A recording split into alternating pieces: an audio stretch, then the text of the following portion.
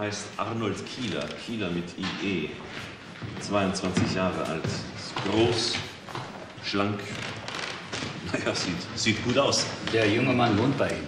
Ja, ja. Also, um Ihnen das zu erklären, äh, ich habe ein kleines Theater, das heißt, es gehört mir. Ich bin äh, Intendant, Autor, Regisseur, Bühnenbildner, Komponist, alles in einem. Ja, also wie gesagt, der junge Mann wohnt bei mir, hat noch keine Wohnung gefunden. Ein Anfänger, wissen Sie, der noch nicht so recht Fuß gefasst hat, in keiner Hinsicht, im Leben nicht und auf der Bühne nicht. Aber ganz begabt, wenn auch mit einer etwas dünnen Stimme. Äh, Ich habe ihm geraten, seine Stimme kräftiger zu machen, mehr Volumen. Ja, Schreien üben, Brüllen üben, was natürlich schlecht möglich ist in einer Stadtwohnung. Ja, bei der Gelegenheit fällt mir etwas ein. Es mag sich für Sie vielleicht etwas eigenartig anhören, aber ich gehe mit meinen jungen Schauspielern manchmal in einen Steinbruch. In einen Steinbruch, weil man dort gegen alles anbrüllen kann, ohne dass sich irgendjemand gestört fühlt. Diesen Steinbruch sucht er manchmal auf, um wie gesagt seine Stimme zu trainieren. Ja, ja, es könnte sein, dass er gestern Nachmittag oder gestern Abend auch dort war. Herr ähm, Kostloff. Kostloff, Ihre Sorge in allen Ehren. Aber ein junger Mann, der nicht nach Hause gekommen ist, das ist für uns kein Anlass, eine Fahndung auszuschreiben. Ja, aber der junge Mann ist die Zuverlässigkeit in Person. Sich nicht zu melden, das passt überhaupt nicht zu seinem Charakter. Ich glaube, ich werde jetzt doch wohl diesen Steinbruch aufsuchen. Das lässt mir, lässt mir keine Ruhe. Ist vielleicht ein bisschen viel verlangt, aber könnte jemand von Ihnen mit mir fahren?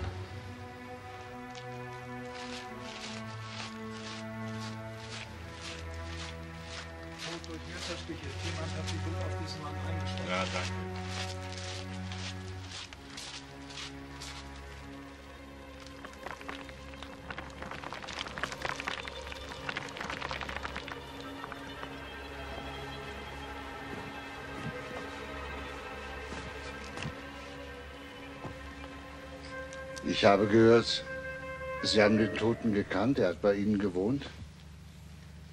Und Sie haben die Polizei hierher gebracht. Ja, ja. Ich, ich wollte eine Vermisstenmeldung aufgeben.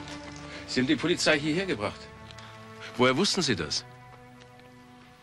Ich habe es dem Polizeibeamten erklärt. Hat man Ihnen gesagt, dass er Schauspieler ist? Ja, ja, das haben wir gehört. Und dass ich ein kleines Theater besitze und dass ich manchmal meine Schauspieler hierher führe. Das ist ein idealer Ort, um seine Stimme zu schulen. Eine große Kulisse für große Texte. Jedenfalls ein ungewöhnlicher Ort für irgendein Stimmtraining, nicht? Finden Sie? Ich sehe das anders. Sagen Sie, haben Sie jemals ein antikes Theater gesehen? Ephesus. Dieses gewaltige steinerne Rund, ein Steinträchter. Und in der Mitte, unten, der Mensch. Allein und schreit. Nur wenn hier einer schreit, hört's niemand. Der Arzt hat uns gesagt, dass der Täter wie wild auf den Mann eingestochen haben soll. Ja, das habe ich gesehen. Sagen Sie mal, der Mann, äh, der hat doch bei Ihnen gewohnt. Wir bringen Sie jetzt nach Hause. Wollen Sie den Toten noch mal sehen? Nein. Nein. Ich habe ihn ja gefunden. Das war ein, ein unheimlicher Eindruck. Wie ganz starkes, großes Theater. Nur wirklicher.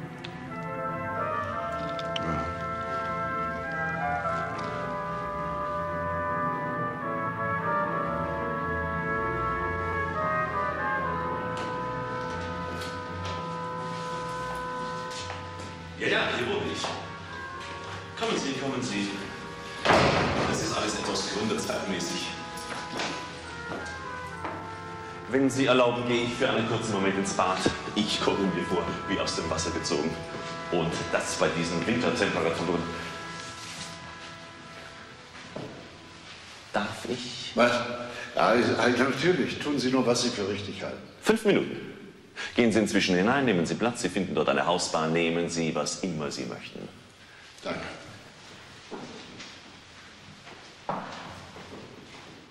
So. Aber der, der ist doch nicht ganz normal, oder? Nein, aber sag mir, was normal ist. Stefan, der führt uns, die Polizei, zu dem Toten. Weißt du, was ich damit sagen will? Ja. Der Mörder hat die Polizei zu seinem Opfer geführt. Genau das will ich damit sagen. Dann gehen wir mal rein.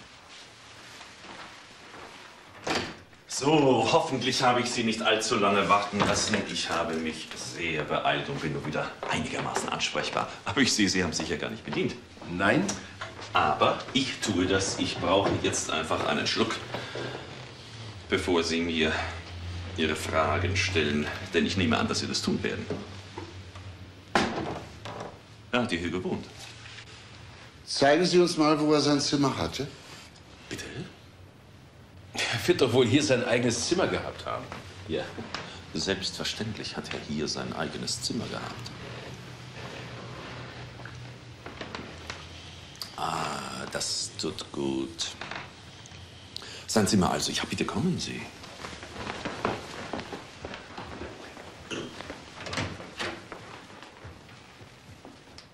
Hier ist es. Er hat nicht viele Sachen gehabt. Kaum Besitz. Sehen Sie, fast gar nichts. Er kam aus, äh, wie sagte er, Cottbus oder aus der Nähe von Cottbus. Ich habe ihn gefunden, tja, wo? In einer Kneipe. Ähm, ich kam ins Gespräch mit ihm und fand heraus, dass er überhaupt keine Vorstellung hatte von dem, was er sollte, was er wollte. Nichts. Äh, mich hat das aufgeregt. Nicht dabei machte er einen angenehmen Eindruck. Oh, gelenkig, angenehme, geschmeidige Bewegungen. Ich sagte, hören Sie zu, ich mache einen guten Schauspieler aus Ihnen. Er hatte ja nicht mal das Geld für ein möbliertes Zimmer. Ich nahm ihn mit und sagte, okay, ich versuch's mal mit ihm. Und wie lange? Meine, hat er hier gewohnt? Ja, so zwei Monate. Er wird ja noch anderen Umgang gehabt haben, oder? Ja, ja, aber natürlich. Ich will Ihnen einmal sagen, wie ich das sehe. Leute, die mit sich selber nichts anzufangen wissen, suchen ganz zwanghaft Plätze auf, wo man anderen begegnet und wo man das Alleinsein nicht so spürt. Also Kneipen, Bahnhöfe und so weiter. Also Plätze, wo man seine Anonymität nicht los wird, wo sie aber nicht wehtut. Ich hoffe, Sie verstehen mich. Also uns kommt es darauf an, was er für Freunde und Bekannte hatte. Es hat ihn jemand umgebracht und zweifelsohne jemand, der ihn gekannt hat. Ach, Sie meinen, der hat ihn gekannt? Ja. Meine, Dieser, dieser Steinbruch, dieser irrsinnige Ort spricht doch dafür. Ja, ja, ja, ja, ja. Das ist es. Ein, ein irrsinniger Ort. Das ist eine gute Bemerkung. Ein irrsinniger Ort. Ja, natürlich hat er Bekannte gehabt auf Bahnhöfen und in Kneipen, aber Bekannte eben nur Flüchtige. Harry, schau dich bitte mal um hier. Können wir mal miteinander reden? Ja, gerne. Natürlich, bitte, kommen Sie.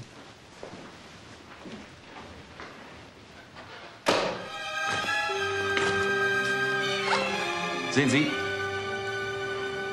ich habe ein kleines Theater. Und bei mir geht es immer, immer um die gleichen Dinge. Um Tod und Liebe. Denn jeder tötet, was er liebt. Oscar Wilde. Die Ballade vom Zuchthaus zu Reading. Tod auf Brettern, die allerdings nicht die Welt bedeuten. Nun, ich habe einen Toten gesehen, der nicht auf einer Bühne lag und doch auf der Szene. Und ich hatte den Eindruck einer Wahrheit, einer ganz unbekannten, schrecklichen Wahrheit sehr, sehr nahe zu sein. Möchten Sie nicht doch etwas trinken? Nein, ich werde Ihnen ein paar Fragen stellen. Sie leben allein. Ich wüsste keinen, der nicht alleine lebt. Das meine ich ja gar nicht. Ich wollte Sie fragen, ob Sie verheiratet sind.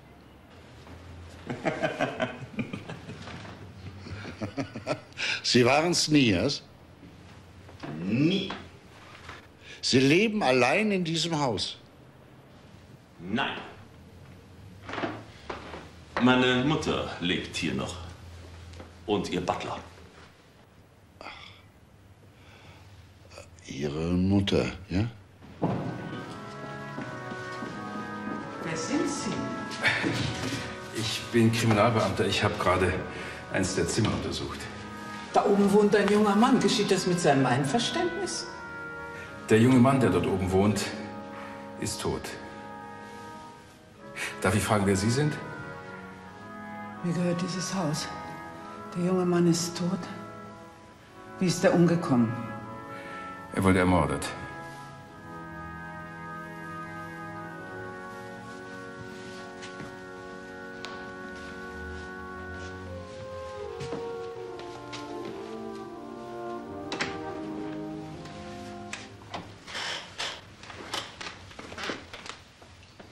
Komm doch herein, Mama.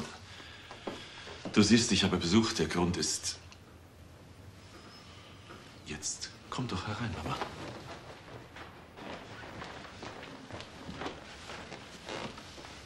Der Grund ist sehr traurig.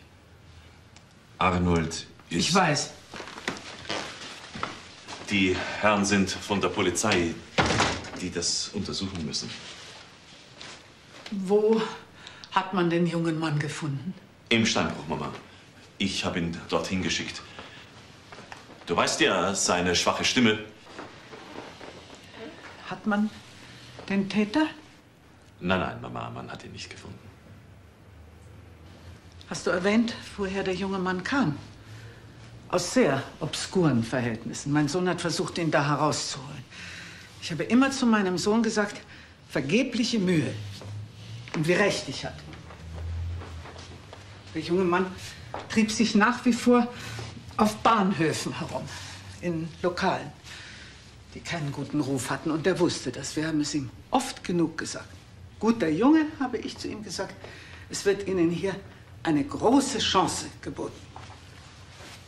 Von meinem Sohn vor allem. Ich habe nie viel von diesem jungen Mann gehalten. Und sein Ende, dieses Ende wundert mich nicht. Ja. Hast du was gefunden, Harry? Das hier nicht viel, ne? Gut, ich danke Ihnen. Wir haben keine weiteren Fragen mehr. Danke.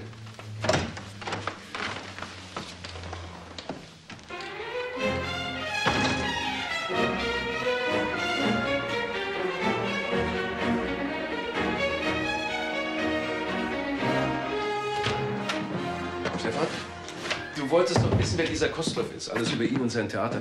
Jetzt habe ich mit dem Krämer gesprochen, dem Kritiker. Der kennt ihn natürlich und das Theater und so. Und äh, ja, der will mit dir reden über ihn. Wann immer du willst. Wann? Sofort. Also zur Sache. Zunächst einmal ein kleines Theater, vielleicht 80, 100 Plätze maximal. Aufgeführt werden da keine Stücke, eher Projekte, Collagen oder sonst irgendwas, aber nichts Richtiges. Kostloff hat einen großen Verbrauch an Ideen und an Schauspielern. Die meisten springen da ahnungslos hinein und hoffen, dass ihnen der Sprung gelingt auf eine richtige Bühne, zu richtigen Stücken. Kann er sich das leisten finanziell? Seine Mutter ist eine reiche Frau. Und das lässt sie sich was kosten, weil sie liebt ihren Sohn. Kennst du ihn persönlich? Ja, ich habe oft mit ihm gesprochen. Manchmal habe ich auch notgedrungen sein Theater besucht und darüber geschrieben. Meistens nichts Gutes.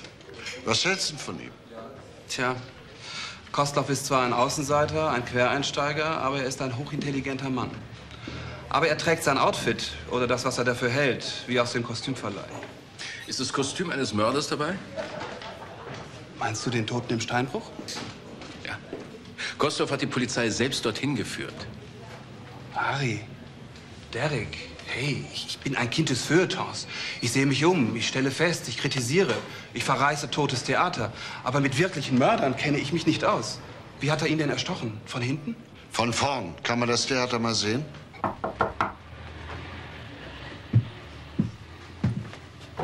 Was ist? Grüß Gott, Krämer. Ah, Sie kennen mich doch. Ich schreibe manchmal die Kritiken. Ich könnte verstehen, wenn Sie mich deshalb nicht reinlassen wollen, aber da sind zwei Herren, die sich für das Theater interessieren. Sie schreiben ein Stück, das vielleicht demnächst hier aufgeführt wird. Können wir mal reinschauen?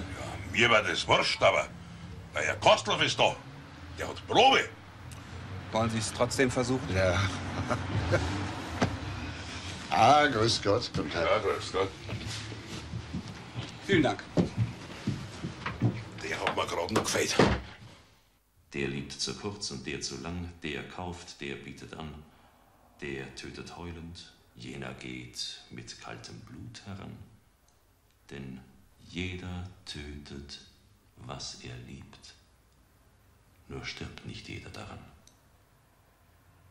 Oh. Oh, Sie besuchen mich. Entschuldige mich einen Augenblick. Hallo, Henry. Ich habe die beiden Herren hierher gebracht. Ja, die beiden Herren sind mir bekannt. Sie wollten das Theater sehen? Das geht doch nicht. Das ist doch Probe, das geht gar nicht. Es hätte eine Probe werden sollen, aber wie Sie wissen, fehlt uns der Partner. Ja, bitte sehen Sie sich ruhig um. Ein kleines Theater, aber sehr intim, sehr atmosphärisch. Das Wort erreicht den Zuhörer direkt, ja, er spürt den Atem des Schauspielers. Was probieren Sie gerade? Wir arbeiten an einer szenischen Umsetzung von Biles Ballade vom Zuchthaus zu Reading. Das ist Sally. Sally Worms. Arnold war ihr Partner. Und nun überlegen wir, ob und wie die Sache zu retten ist. Ob wir eventuell einen neuen Partner für sie finden oder ob ich selbst. Naja, also ich weiß es noch nicht. Sie ist übrigens eine sehr, sehr, sehr, sehr gute Schauspielerin. Wobei ich mit dem Begriff Schauspieler nicht viel anfangen kann. Ich finde, das Wort allein ist ja schon eine Kapitulation vor der Wahrheit. Denn die Wahrheit spielen birgt ja schon die Unwahrheit in sich, verstehen Sie? Wobei wir wieder mitten in der Kostloffschen Sackgasse sind. Guten Tag, Diane. Ich nehme an Kriminalpolizei. Ja, kommen Sie, setzen Sie sich.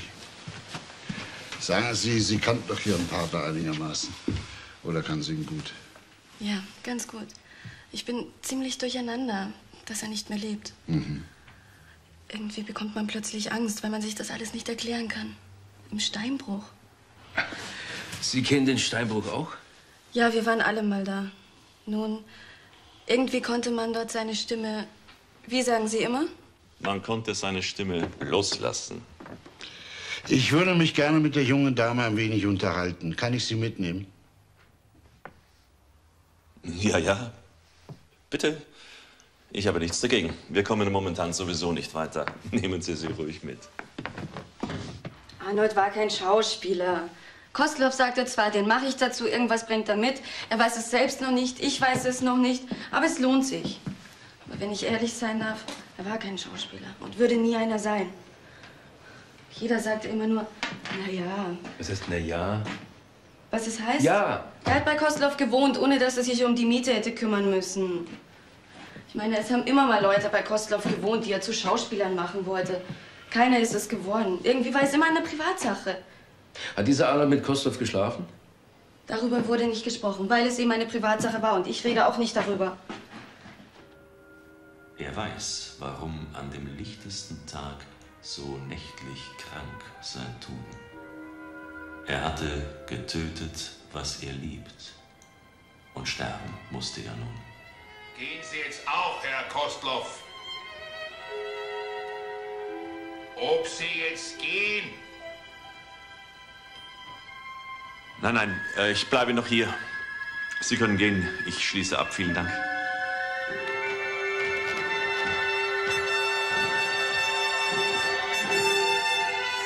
Ja, ich habe verstanden. Also, du möchtest alle Programme des Theaters haben. Natürlich gibt es die irgendwo, aber es wird etwas Mühe machen, die zu finden. Es kommt mir auf die Darstellerliste an. Soweit es junge Männer betrifft. Hä? Äh, richtig, soweit es junge Männer betrifft. Was für Namen suchst du? Ja, ob Namen dabei sind, die auf einer Vermisstenliste zu finden sind, nicht? Hoppla, Derek. Suchst du einen Massenmörder? Okay, ich faxe dir die Namen durch. Rostock? Luckenwald ist auch Jena. neu im Bundesland. Ne? Ah, da seid ihr ja. Du, wir studieren gerade deine Liste hier. Deswegen komme ich her, weil euch die Namen nicht sagen können. Kostloff hat nämlich all seinen Darstellern Künstlernamen gegeben. Fantasienamen. Der Einfachheit halber, was? Wie meinst du denn das? Ich habe mir Fotos besorgt, Pressefotos. Szenenfotos und Einzelaufnahmen. Vorwiegend von jungen Männern. Ihr habt mich ganz heiß gemacht mit eurem Verdacht. Mehr ist es doch noch nicht. Nein, mehr ist es noch nicht. Also, du meinst, dass. äh, Du wirst doch wohl wissen, warum ich dir die Fotos mitgebracht habe. Ja, wir sollen die Vermisstenanzeigen durchsehen, ob Beschreibungen dabei sind, die möglicherweise zu einem dieser Fotos passen. Also weißt du, du hast mir einen ganz schönen Schrecken eingejagt. Irgendwie hätte ich verdammt gerne, wenn wir uns alle irren würden. Zwei Fotos, die auf die vermissten Beschreibung passen. Bitte. Eindeutig, wie die Fotos zu den Beschreibungen passen. In einem Fall ist sogar eine Narbe beschrieben. Genau diese. Wie heißen die denn? Moment mal. Albert Knechter und Julius Noske. Das sind die richtigen Namen. Beide kommen aus dem Osten. Der eine aus Jena, der andere aus dem Erzgebirge. Und beide sind am Theater von Kostloff aufgetreten. Der eine war zwei Monate bei ihm, der andere ein halbes Jahr. Und beide haben bei Kostloff gewohnt. Das kann man ja wohl feststellen, oder? Was machst du jetzt? Was würdest du denn machen? Ja, ich würde. Siehst du, mache ich auch. Mama, die Herren von der Polizei sind da. Ich habe gesagt, gut, dass Sie kommen, weil ich da eine Frage habe. Guten Abend, gnädige Frau. Wir haben uns schon entschuldigt für unser spätes Kommen. Sie werden Ihre Gründe haben. Der ist der. Das ist der Butler meiner Mutter. Kümmern Sie sich nicht um ihn. Er ist zwar anwesend, aber nicht vorhanden. Bitte, setzen Sie sich doch. Sie hatten eine Frage. Äh, ja, ich sprach gerade mit meiner Mutter darüber. Es geht um den toten Arnold. Wir wissen ja nichts über ihn. Er hat keine Angehörigen, beziehungsweise wenn er welche hat, wir kennen sie nicht. Es geht um die Beerdigung. Ich möchte sie gerne übernehmen. Alles. Ich meine die Kosten und alles, was dazugehört. Frage. Äh, es wird da doch keine Schwierigkeiten geben. Nein, ich glaube nicht, dass es Schwierigkeiten macht. Siehst du, Mama, du hörst es. Warum sind Sie gekommen? Wir haben hier Fotos von zwei jungen Männern, die bei Ihnen aufgetreten sind. Wenn Sie sich die mal ansehen wollen. Wo haben Sie denn die Fotos her? Ja, ja, ja, ja, die haben bei mir gespielt. Mama, schau mal. Andi und Jürgen. Pressefotos. Dafür erstaunlich gut findest du nicht. Schöne Fotos, die kenne ich gar nicht. Ja, ja, die haben bei mir in einem Projekt mitgewirkt. Leider nicht sehr gut. Sie hatten überhaupt keine innere Beziehung zu meinen Intentionen. Kaum betraten Sie die Bühne, verloren Sie auch schon Ihre persönliche Glaubwürdigkeit. Und wer seine persönliche Glaubwürdigkeit auf der Bühne verliert, muss weg.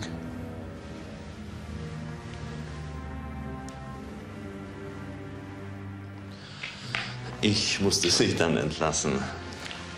Wissen Sie, was dann aus Ihnen geworden ist? Ich habe keine Ahnung.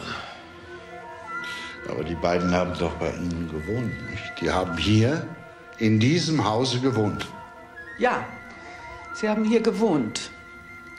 Und das Haus dann verlassen. Wir haben nie wieder etwas von Ihnen gehört, was wir persönlich als sehr undankbar empfanden.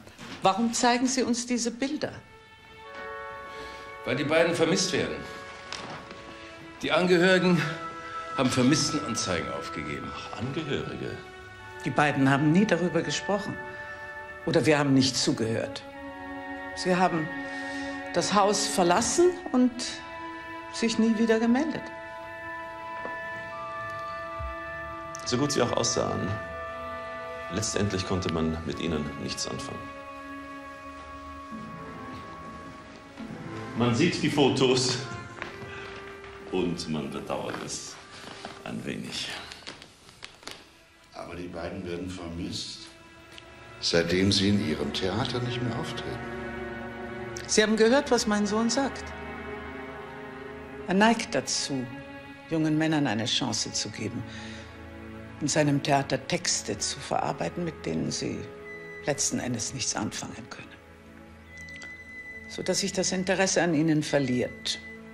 Sie gehen aus dem Haus und merken selbst, dass es sinnlos ist. Es war ihnen unmöglich, sich nochmal zu melden. Es war ihnen unmöglich, sich nochmal zu melden. Weil sie nicht mehr leben, weil sie tot sind. Sind sie auf ihre Weise ausgedrückt. Sehr zynisch. Was meinst du? Frag den Butler. Der hört nichts, sieht nichts, spricht nichts.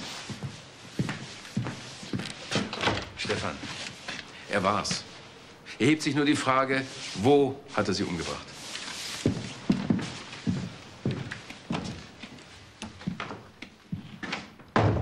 Der eine mordet, wenn er jung, der andere als Kreis. Der eine wirkt voll Todeslust und der um goldenen Preis. Der Beste aber greift zum Dolch und tötet schnell und leis. Guten Tag, Herr Kostloff. Ich habe mit Ihrer Mutter gesprochen. Sie sagte mir, dass Sie hier in diesem Theater sind. Wie Sie sehen, ich bin in meinem Theater. Allein. Allein. Setzen Sie sich neben mich.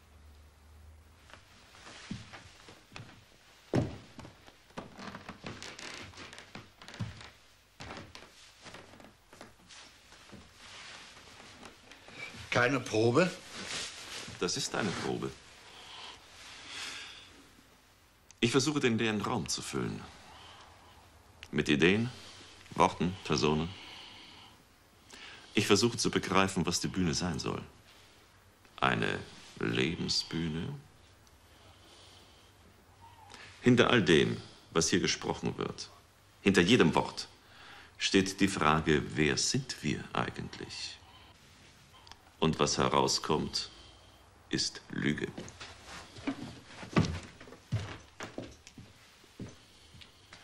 Sie wollten mich etwas fragen. Sie stehen jetzt da oben und fragen sich auch, wer Sie sind. Und wenn Sie die Antwort gefunden haben, lügen Sie dann auch? Warum reden Sie so einen Unsinn? Sie wollten mich etwas ganz anderes fragen. Also, tun Sie es. Haben Sie Arnold Kieler umgebracht? Haben Sie zwei weitere junge Männer umgebracht? Sie haben meine Mutter angerufen und sie sagte mir, Sie werden mir eine Frage stellen, genau die, die Sie mir jetzt gestellt haben. Sie sagte, mein Junge, man hält dich für einen Mörder. Sie irren sich. Ich habe niemanden umgebracht. Wissen Sie, zu Ihren beruflichen Denkweisen habe ich keinen Zugang und Sie nicht zu meinen. Stellen Sie mir also ohne Bedenken alle Fragen, die Sie in diesem Zusammenhang haben. Oder bringen Sie sie in eine Schriftform. Und wenn Sie meine Unterschrift brauchen, Sie bekommen sie ohne zu zögern. Einverstanden? Und vergessen Sie die hübsche Szene hier, mit der Sie ohnehin nichts anfangen können.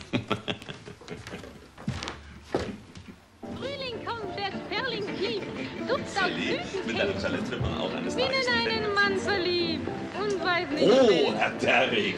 Ja, Herr Kostloff. Ich nehme an, es ist der reine Zufall, dass wir uns hier sehen. Oh ja, wenn ich Ja sage, glauben Sie es ja doch nicht. Sie sind mit Ihren Freunden hier? Ja, bitte kommen Sie. Alles Bekannte von mir beruflicher und privater Art. Äh, meine, setzen Sie sich. Äh, bin ich immer noch ein Mörder für Sie? Sagen Sie ruhig ja. Sie haben ja recht. Ich bin es. In dem Sinn, dass wir es alle sind. Der eine mehr, der andere weniger. Aber soll ich Ihnen was verraten? Die, die es mehr sind, sind in der Überzahl. Der Mensch in seiner Grundausstattung ist ein Mörder. ja, wissen Sie am allerbesten, ne? Jetzt vermisse ich aber schon eine moralische Reaktion bei Ihnen. Zuhören ist auch eine Reaktion. Ist Ihnen sehr zu empfehlen. Wie geht's Ihnen denn? Eine essentielle Frage und dafür schlagen Sie sich die Nacht um die Ohren.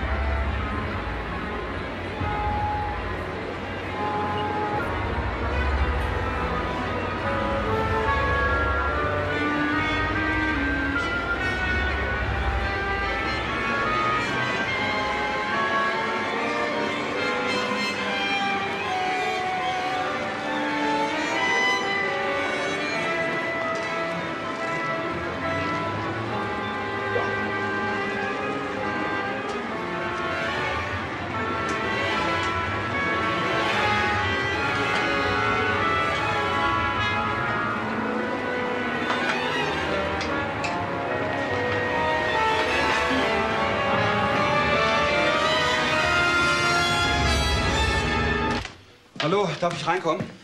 Nur eine Frage. Interessiert euch Kostloff noch? Oder habt ihr euch von dem Gedanken verabschiedet, dass es sich bei ihm um einen Serienmörder handelt? Wir laufen ins Leere. Warum fragst du? Ich habe eine Kassette ausfindig gemacht. Ein Interview mit Kostloff aus der Reihe Unsere kleinen Theater. Der Witz ist, das Interview ist nie ausgestrahlt worden. Kostloff hat es abgebrochen, hat den Interviewer nach Hause geschickt. Interessant für euch? Da fragst du noch?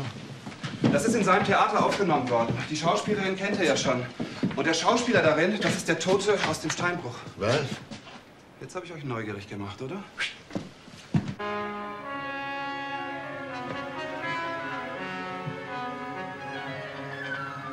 Herr Kostloff, es geht um Ihr Programm.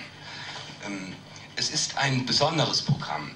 Das wäre nichts Besonderes, denn Ihr Programm ist immer ein besonderes Programm. Machen Sie sich lustig. Wie käme ich dazu? Was verstehen Sie denn unter besonders? Ähm, wissen Sie nicht, wie Ihre Kollegen Ihr Theater nennen? Ja, ich nehme an, Sie werden es mir jetzt verraten. Kostloffs kleine Todesbühne. Wobei sich das Klein hoffentlich auf die Bühne und nicht auf den Tod bezieht. Ah, Sie meinen großer Tod auf kleiner Bühne. Wäre ein Anspruch, für den ich eintreten könnte. Äh, Sie sprechen von einem Anspruch. Ja, der darin besteht, diesen ganzen irrsinnigen Aufwand an Thematik zurückzuführen auf das einzig Wesentliche, auf die Realität des Todes. Sagen Sie, sind Sie Kameramann oder Zahnarzt? Sie sprechen von der Realität des Todes. Ist Ihnen Tod das Wichtigste? Dass das Leben sich vom Tod her bestimmt, ist ja nicht meine Erfindung. Äh, Können Sie das näher erklären?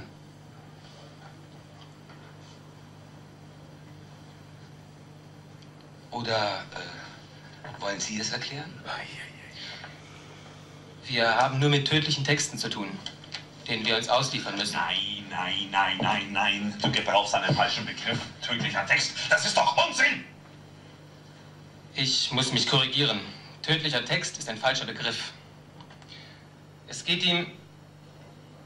Darf ich es mit deinen Worten sagen? Ja, na komm, sag's. Seine Meinung ist, dass der Mensch nur ein einziges großes, wichtiges Erlebnis kennt. Das ist Mord. Der Mord, den er wirklich vollzieht. Er meint, der Mensch sei von Haus aus ein Mörder. Ist das wirklich Ihre Meinung? In welcher Welt leben Sie eigentlich? In der Märchenwelt? Oder in der Lügenwelt? Die Weltgeschichte ist eine Mordgeschichte. Womit unterhaltet ihr euch denn? Ha? Mit Mordgeschichten, aber das hat ja mit unserem Interview jetzt überhaupt nichts mehr zu tun. Will nicht, dass es gesendet wird. Aber warum denn nicht? Weil ich es nicht will! Was ist denn Ihre persönliche Meinung? Schluss jetzt! Schluss! Schluss!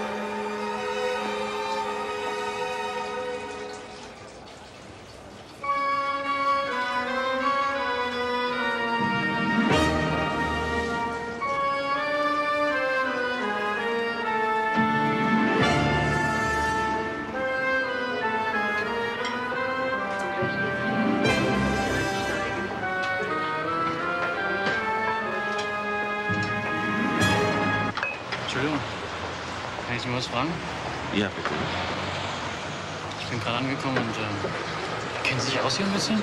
Kann ich Ihnen helfen? Ich suche ein Hotel eine Pension. Also was ganz Einfaches, nichts Teures. Ich muss erst mal einen Job finden, wissen Sie? Ich bin Kellner.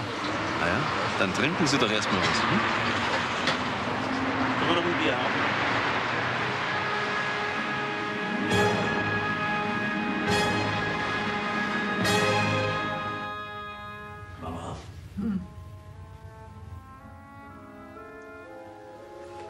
Ich habe einen Gast mitgebracht.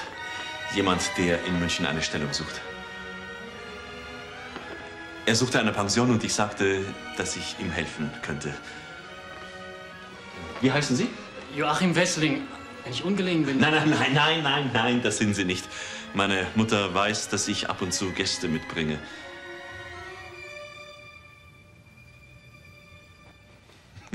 Wir haben genügend Platz hier, wie Sie sehen.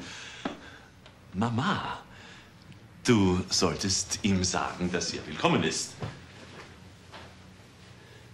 Er bleibt ein paar Tage hier, bis er das gefunden hat, was er sucht. Eine Stellung.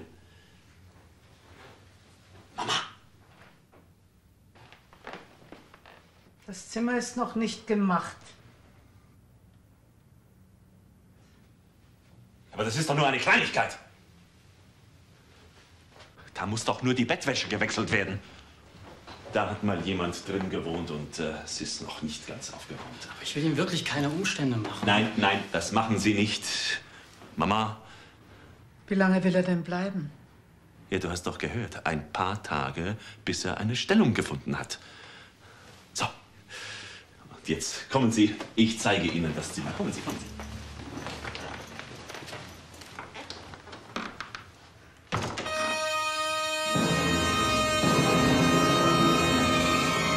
Voila! Hier ist es. Hier ist das Bad. Der Schrank Ah, ist noch nicht ganz leer. Aber es ist genügend Platz.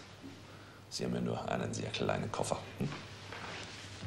Also ich sag's nochmal, Herr Kostloff, ich, Jetzt setzen Sie den Koffer doch mal ab. ich will ihm wirklich keine Mühe machen. Keine, Das tun Sie doch nicht. Jetzt packen Sie Ihren Koffer aus und fühlen Sie sich wohl. danke.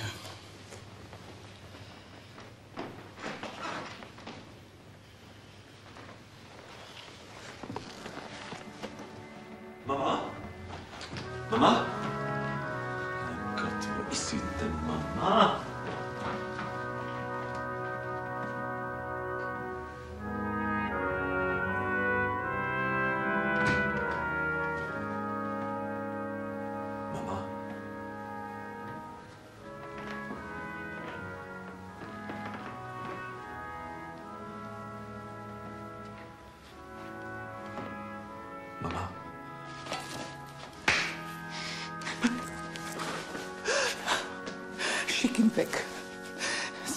Sag ihm, er soll gehen. Henry, er soll weggehen. Wenn er kein Geld hat, dann, dann gib es ihm. Er soll sich ein Hotel nehmen. Warte, ich gebe dir Geld. Hier. Du weißt doch, Er, er, Mama, er soll es nehmen. dass ich ihn nicht gehen lassen kann.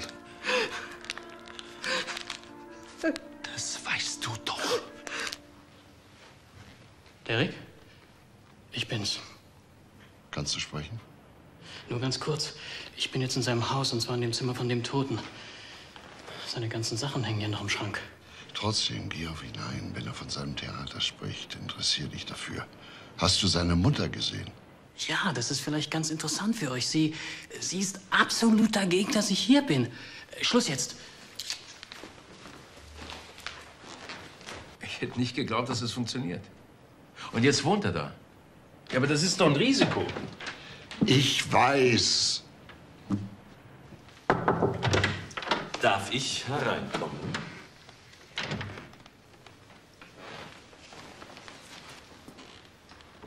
Ich habe meine Sachen schon ausgepackt. Ich hoffe, das war okay, oder? Ja, ja, natürlich. Gut so. Ich möchte doch, dass Sie sich wohlfühlen. Ähm, haben Sie die kleine Bar schon entdeckt? Wenn Sie möchten, dann trinken wir jetzt ein Glas zusammen auf Ihren Einzug. Einverstanden? Ja, nichts dagegen. Sagten Sie nicht, dass Sie Kellner sind? So, jetzt bin ich es mal, der Sie bedient. Setzen Sie sich hin.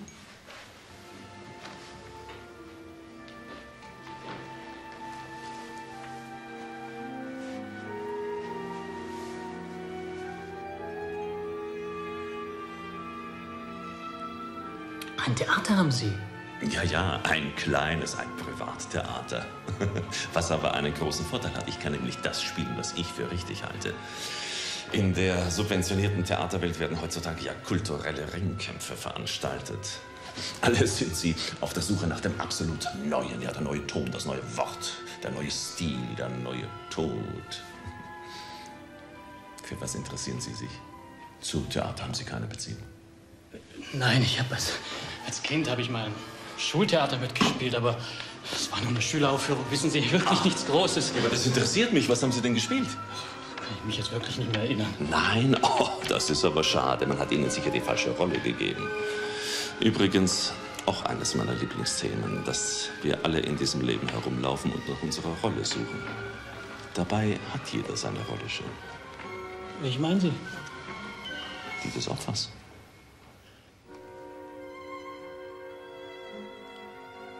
Darf ich rauchen? Ja, natürlich.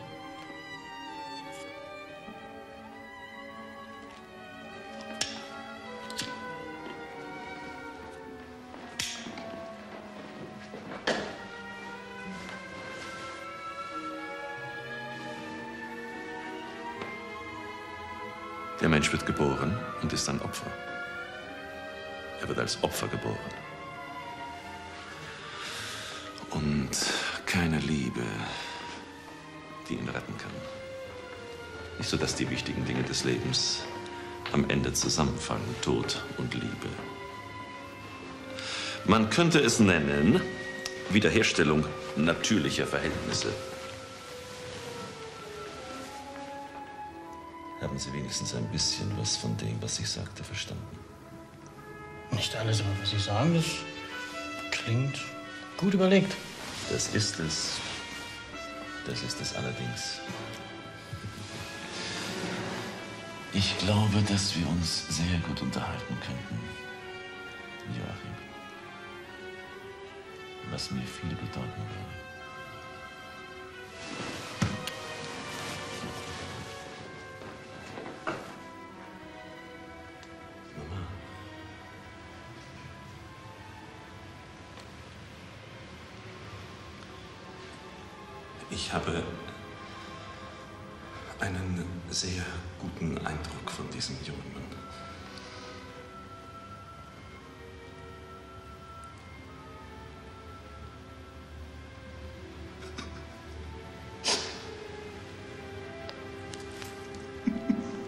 Schon gut, mein Junge.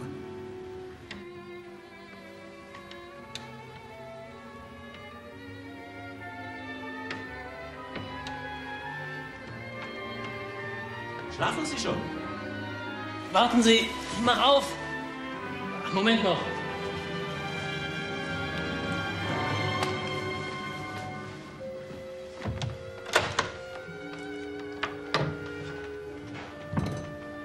Wissen, ob Sie sich wohlfühlen. Ja? Ist aber nicht Brauch, in diesem Haus die Türen abzuschließen. Es geht Ihnen gut? Ja, danke, sehr gut.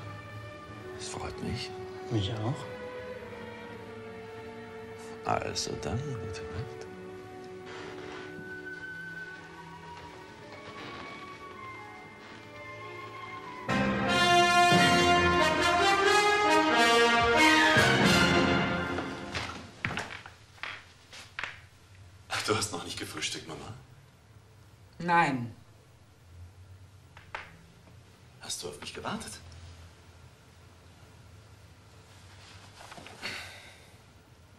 Gast ist noch nicht da? Nein. Vielleicht sollte ich ihn wecken. Ich gehe mal darauf.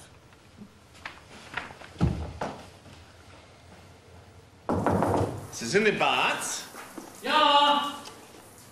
Hab ich zu lange geschlafen? Nein, nein, nein, nein. Lassen Sie sich ruhig Zeit. Frühstück ist fertig.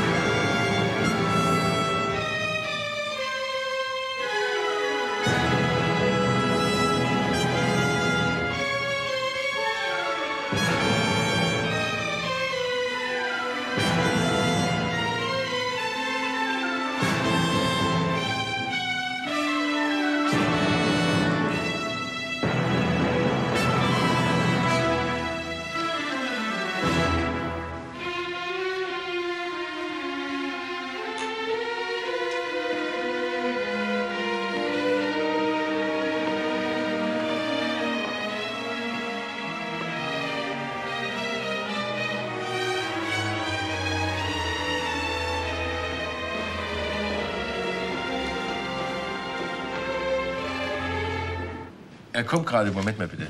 Wessling. Na, endlich. Ist alles in Ordnung? Ja, ja, ich bin noch unbeschädigt. Er wollte mich heute Nacht besuchen, aber ich hatte die Tür abgeschlossen. Das hat ihm natürlich nicht so gut gefallen. Ja, das kann ich mir vorstellen.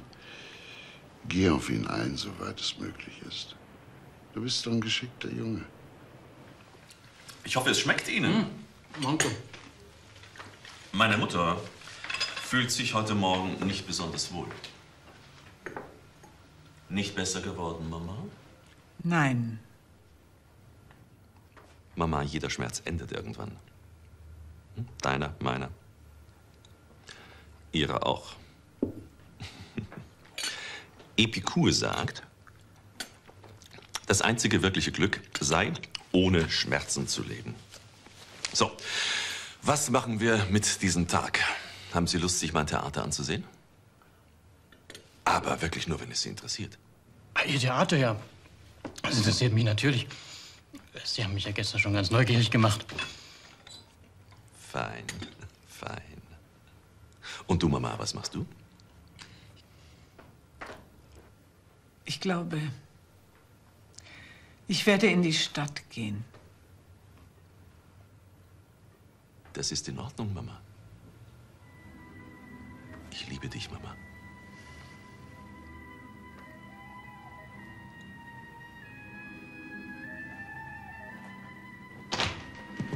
Stefan? Frau Kostloff.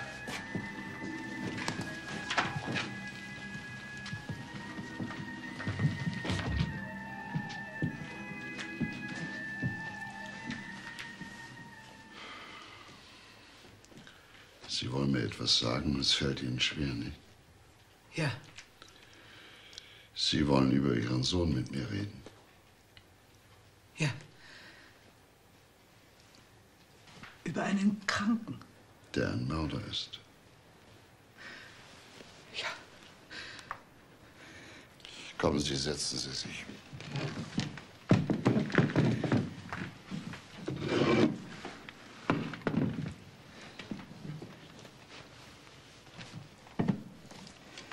Mein Sohn war immer hochbegabt.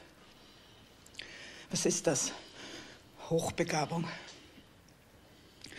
Übersteigerte Sensibilität, die das Gewöhnliche nicht akzeptiert, sondern nur das Außergewöhnliche. Das andere. Das ganz andere.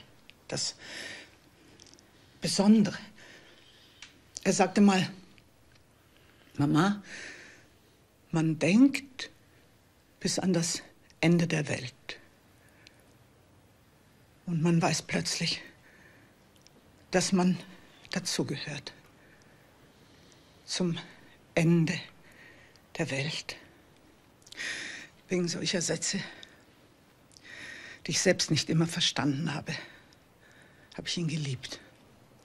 Ihn angebetet. Ja, angebetet. Ich muss das so nennen. Mein Fehler. Es kann mich nicht trösten, dass vielleicht jeder mal einen Fehler macht, der nicht wieder gut zu machen ist. Mein Sohn hat in seinem Wahn zwei Menschen ermordet. Und wohl auch einen dritten. Dem Dritten habe ich das alles gesagt. Ich habe ihm gesagt, mein Sohn hat zwei Menschen umgebracht. Sagen Sie ihm. Beschwören Sie ihn, dass er sich der Polizei stellt. Der Dritte, Arnold Kieler, hat mit ihm gesprochen, so wie ich es gewollt hatte. Aber Arnold Kieler wollte es genauer wissen. Was hast du getan? Warum hast du es getan? Wo hast du sie begraben? Mein Sohn hat Arnold Kieler dorthin geführt, wo er die Toten begraben hat. In den Steinbruch. Wo er dann auch den Dritten ermordet hat.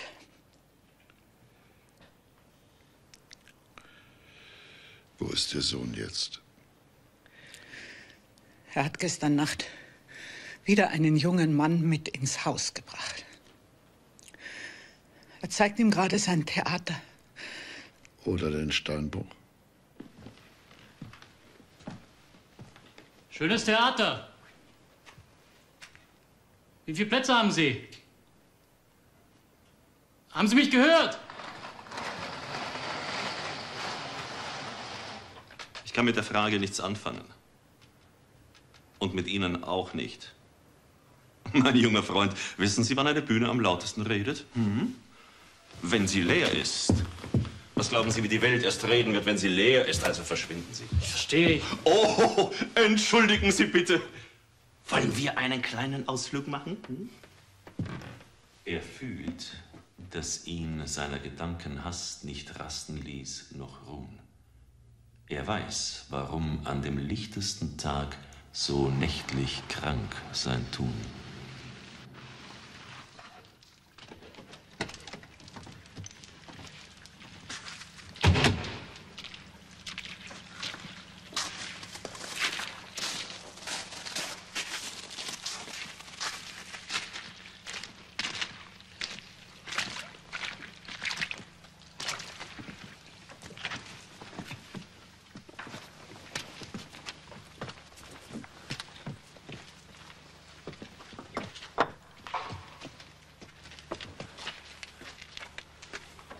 Warum sind wir hier?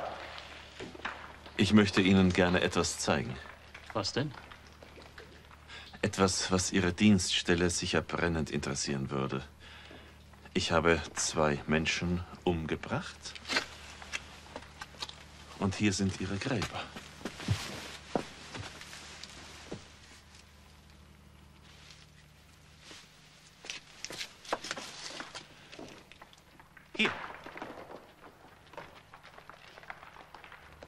Weiß, dass Sie ein Polizist sind.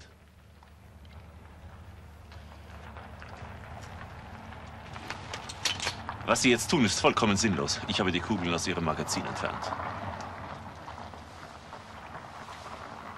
Meine Waffe ist geladen. Los! Los! Auf die Bühne! Lauf zu!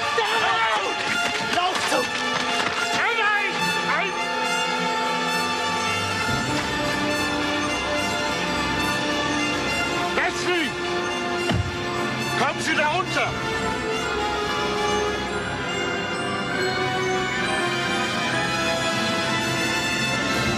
Tun Sie, was ich sage, Westling! Kommen Sie da runter! Nimm die Waffe unter.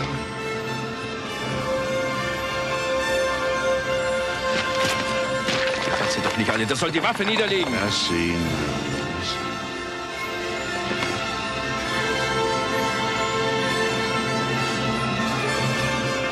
Nochmal, warum tut das nicht? Sagen Sie es ihm.